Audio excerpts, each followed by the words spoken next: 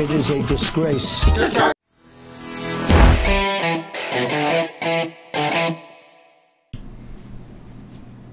Hello, and welcome to Story Fandom.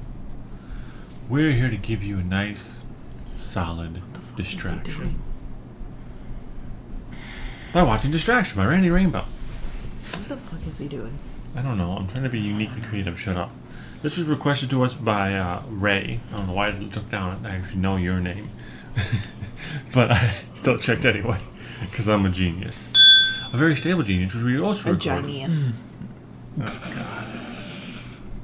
God. Anyway, A genius. Before we get started, I have to talk to you guys about something very important. It's subscribers. we need more freaking subscribers. Subscribers. So, Retrieve. subscribe. And if you do, retrieve. instead of skipping over this part, if you do, we'll reward you. Subscribe retrieve. Subscribe With retrieve. poop Free of cookies. charge. You heard me right. Maybe. Subscribe retrieve. It's subscribe. cookies. by Subscribe Freddy. Poop cookies. Future. Sounds gross, right? Five check.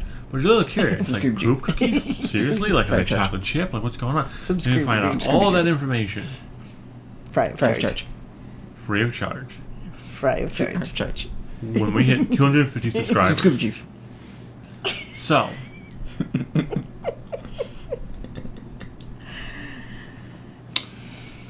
go ahead and subscribe. Subscribe retrieve.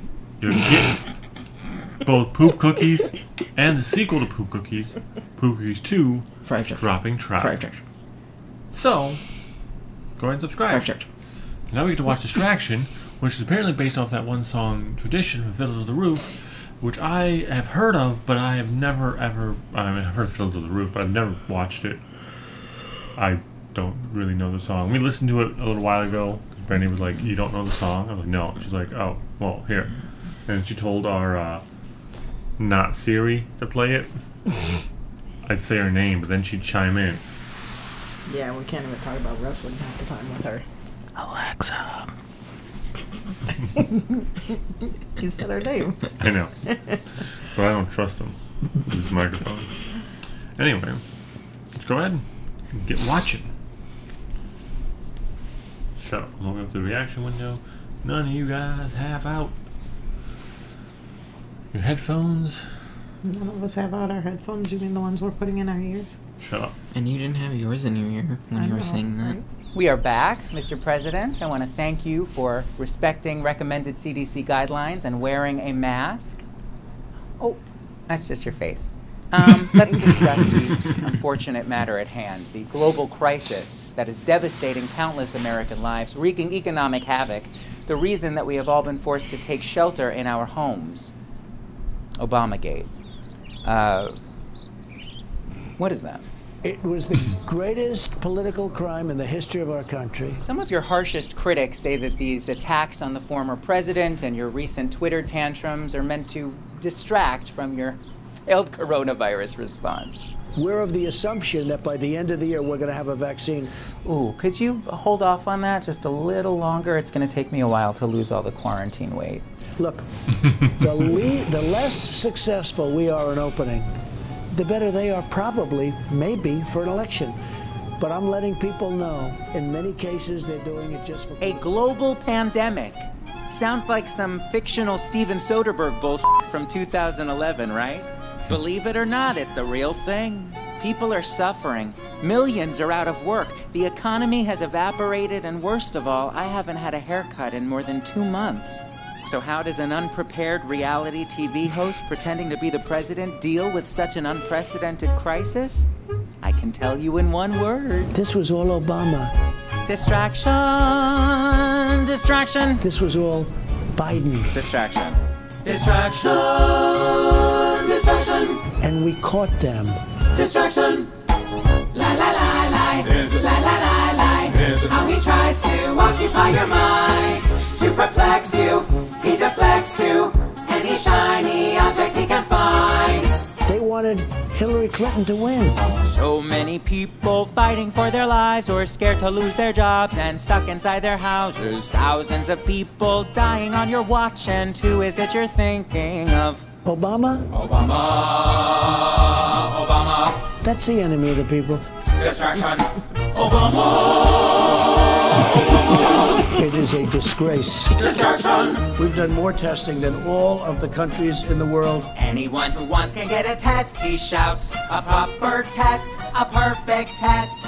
Where the hell are all these perfect tests he touts? There's only one thing on his freaking mind. Sleepy Joe Biden. Election, election, I'm getting really good poll numbers. distraction, deception, deception, Over 10 million tests. inaction. They've never gotten over losing to me. We hope that you might lead us with some dignity and tact. We thought thought that would you'd happen. somehow grow from this, but girl, you're petty. Confusion, digression, delusion, obsession, Make America great again, right? recession, election, inaction, infection, distraction, Nancy Pelosi's a disaster. distraction. Obamagate. Hydroxychloroquine. Maybe that's a question you should ask China. He tries his best to bashful as he stupefies and stalls.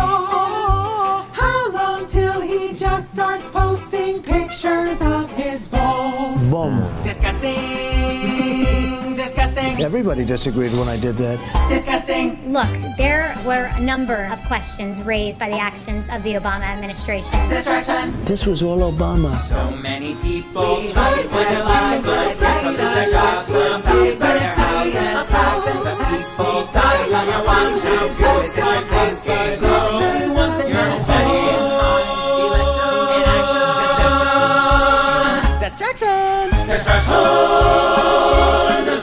is a disgrace what's happened. distraction. Obamagate. It's a disgrace, it's him. Booking a family vacation. Jesus. Yeah, okay. Before we get anything else about that, the head shake thing would weird me out a little love bit. it. It's like, I love it so much. I'm gonna do that from now on. I just want you to be aware. actually, We're, hold we're gonna do that. I had to crack my neck then. So yeah. What else can we say about this? Trump sucks. His coronavirus uh, response sucked, and um, people died. A lot of people. I. So I am considering posting on my Facebook that I want someone to try and defend anything having to do with his taxes or having to do with coronavirus because I know a couple of people on there still are Trump supporters. I really just. I don't understand. I don't understand how stupid people can be. I Yeah, I don't know why I you keep just- any of those people on your Facebook. I only know one Trump supporter, and he's my brother. And I've I informed him that he can go so fuck many himself times. with his redneck So hillbilly politics. So many. So many times I've deleted them. And I swear they do not get the hint. Because they request me again.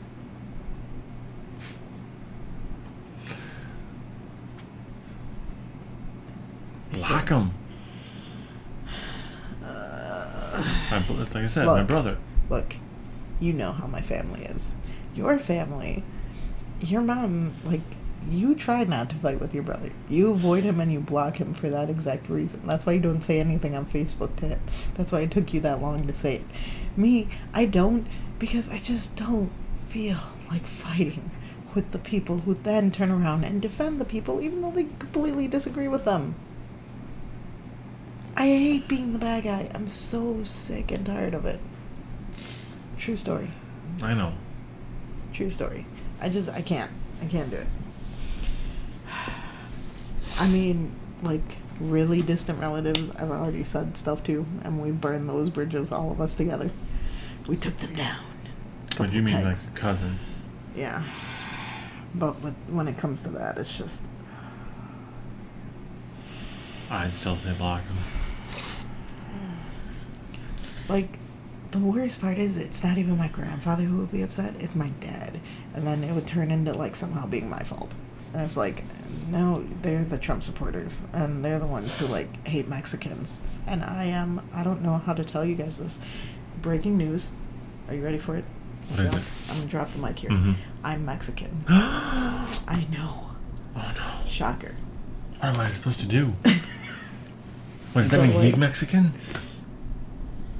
I don't know if you noticed his skin color, but I just thought he just got a really good tan. I would suggest you tell Trump where you got your tan, so therefore he could look less like he just splattered his face into a bag of Cheetos to get it. Although the one tonight uh, with the thing, because this is the same night that it just came out about Trump's whole I only spent seven hundred dollars in taxes, and he had his whole thing. He didn't look like his regular orange Cheeto self. He looked like he'd taken like a bag of uh, I want to say almost Cool Ranch Doritos or something, or, or something that was, it was like darker brown than his regular orange, and that was what he splattered okay. on his face. Do y'all think that he really did spend seventy thousand on hair for TV, or do y'all think he was lying? Because either he's lying just to like write it off, or someone really did somehow convince him that that hairstyle is worth seventy thousand dollars. Well, first of all, mm. first of all, we got a couple things to consider.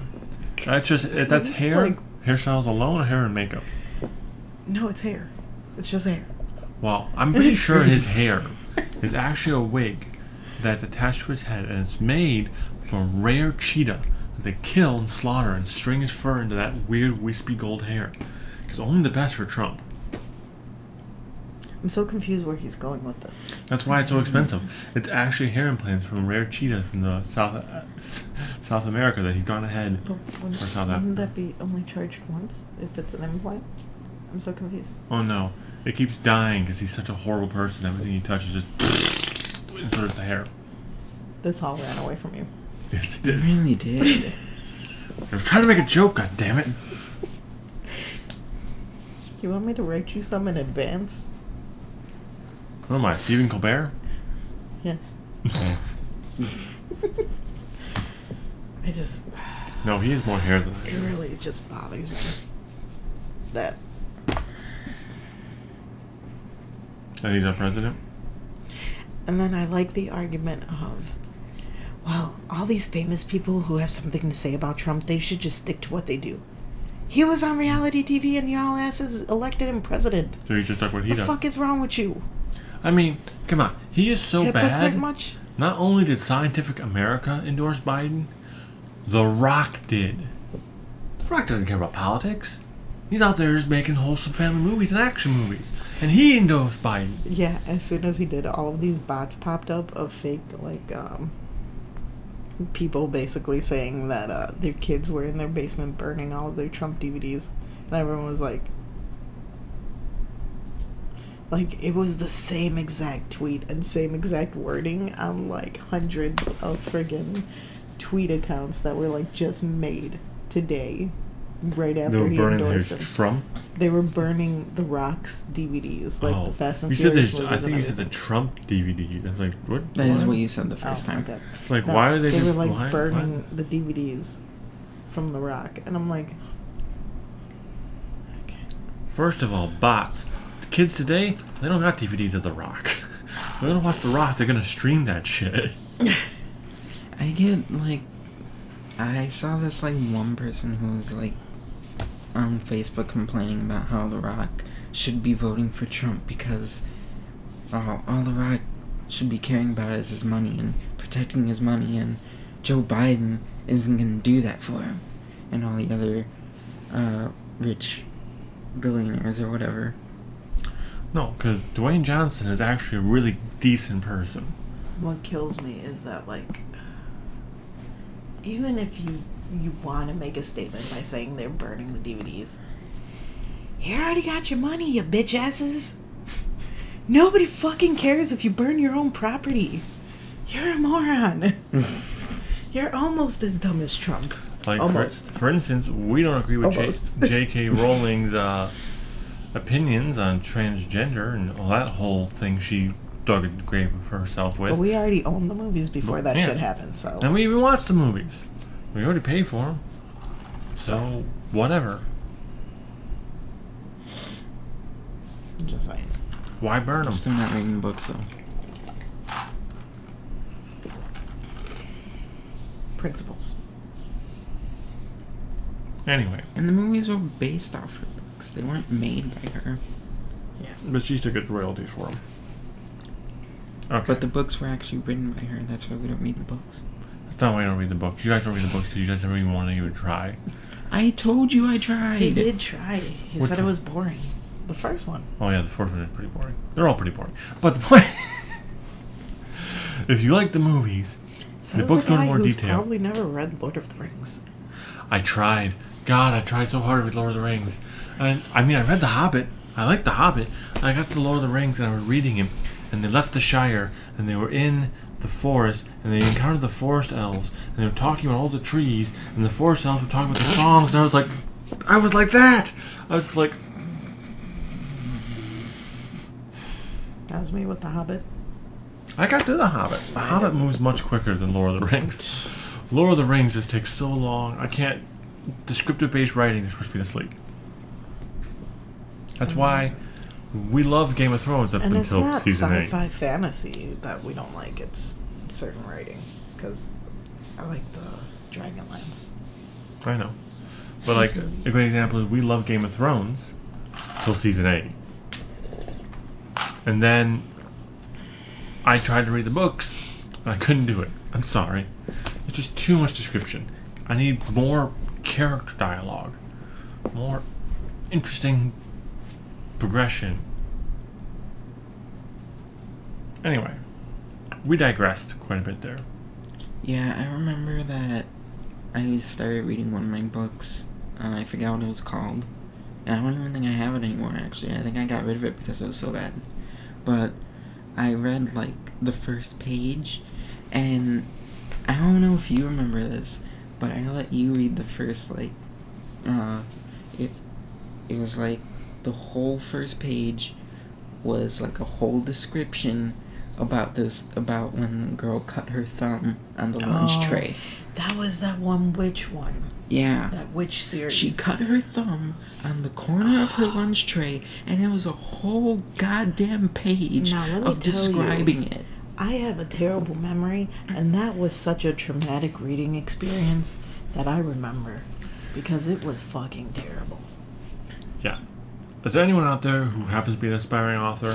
I know I am. I'm working on my book. I mean, some people like descriptive writing, so yeah. go ahead. But you should understand. Do you? But it's it's not. For You have us. to understand that description writing and even having a world-based writing like Tolkien and stuff like that, who just puts a lot of detail into the world, that's fine. But you gotta watch your exposition dumps, because honestly, they'll kill the pacing. Like that. That sounded stupid. Anyway, I don't know what that had to do with it, but we- Actually, I think it was more than just a page. It was like it was a while. Because then they also described the band aid and the decorative, like patterns on the band aid, and like I'm they really even- went Like I, I'm, over I'm, the top. I'm just, I'm already sick of this book, and I've never even read it. Anyway, if you like our content, like, comment, and subscribe. Don't you just subscribe? You get to find out about poop cookies. You get to find out about poop cookies. Subscriber. Subscriber dream. We have a Twitter. Subscriber dream. A We have a. Facebook. Fry of charge. And we'll see you guys next time.